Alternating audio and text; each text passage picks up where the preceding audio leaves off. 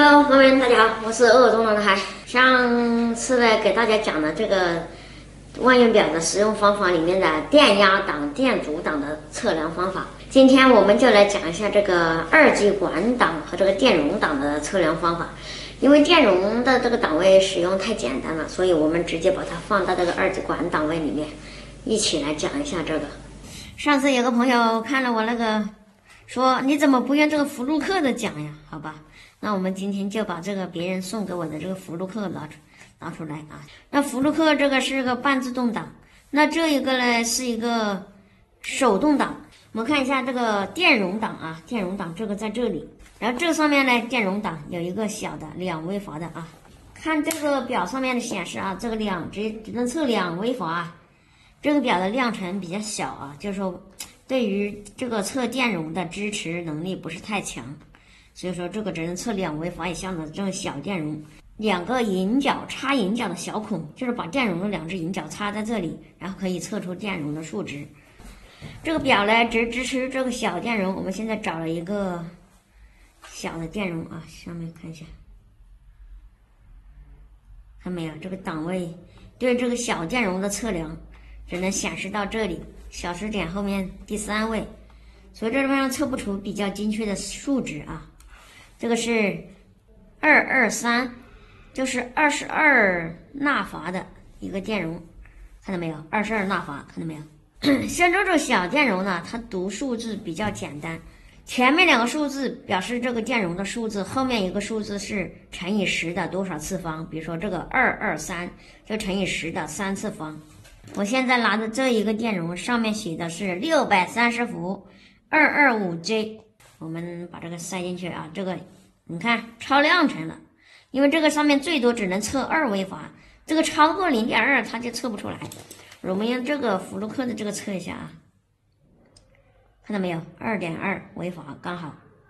我们测一下这个大的电解电容啊，电解电容它一般有一个白条子，这个白条子这边就是负极，但我们测量的时候应该可以不分正负极啊，我试一下啊，我不分正负极，看看测的对不对。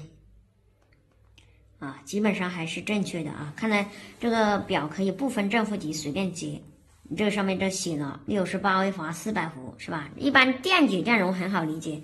另外还有一个，一般它有个温度系数，上面有个幺零五，就是代表最高使用温度一百零五度，一般就这个意思。这个根据每种表它的反应时间不一样啊。这个表我感觉反应时间还算比较快的，大概要一两秒钟就能测出来。有些万用表的话。可能你要接上去，要等个好几秒钟才能测得出来。我们再用这个表测一下，看它反应时间多少。正常显示了啊，六十九微法，跟这个测的也基本上是差不多啊。这个比表要贵好几倍，所以它的反应速度也要快好多。那我们再看一下这个二极管档，二极管档啊是非常非常重要的一个档，但在这个表上面啊。这个电阻档跟这个二极管档还有通断档都是一个，看到没？这有一个循环的标志，你就按这一个，它就是三位三个档位之间循环，看到没？切换。然后这个表上面呢，在二极管档在这个位置啊，在这个档位上，我们看一下二极管档在哪个位置啊？你看在这里，通断档它就是有一个声波的这个标志啊。通断档之后，我把表笔两个接在一起，看到没有？它就滴滴滴的响。通断档其实它里面会有设定一个阀值。就是当这个表笔之间的电阻小于多少欧姆，它两个表笔就会有蜂鸣叫声。那我们接接下来都是用这个来演示啊。普通的一般的二极管都是这个样子。测二极管的时候要分正负极，这个圈儿呢是一个二极管的负极，看到没有？它显示有数字零点四五六三，什么意思呢？就说这个二极管它的压降啊，正向的压降零点四五二伏。我们把它反过来接一下，看到没有？它就不通了啊。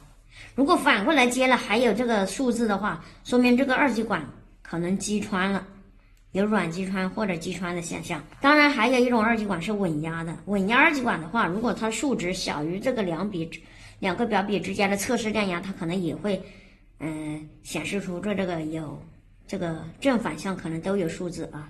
这个要看二极管设置的稳压值了。但是大多数二极管应该是高于这两个表笔的这个。电压的，还有这种小型一点的啊，大概都基本上都是一样的，这个一个意思，零点五三，零点五二，这个三种呢，基本上都是一个类型的，应该都是硅基的硅基二极管啊。大概一般的压降在零点五到零点七之间，测的表也是零零零零，这就完全击穿了，没有压降。看看这边正反向都是零零零零，看到没有？这个叫二极管击穿了，就这样。这个 IN 五八二二，这是肖特基二极管，这是一种复合材料制成的二极管，它的正向压降你看只有零点一五五。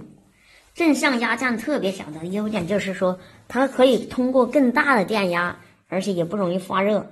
现在一些这种充电器啊，还有这些里面基本上都是用的这种啊肖特基二极管，它压降非常非常小。还有这一种啊，这种是为了散热的，这种是 TO 二二零封装的，零点四伏压降。这种二极管呢，它的一般的话电流就比较大了，方便于散热啊。这上面有个固定螺丝孔。固定在这个散热片上面。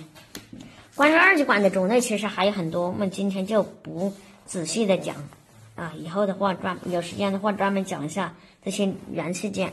其实二极管档还有一个非常重要的作用是测三极管。二极管档和电容的测计方法，我们今天只是大概的讲了一下。具体的这关于这个三极管的测量啊，其实因为三极管种类实在是太多了。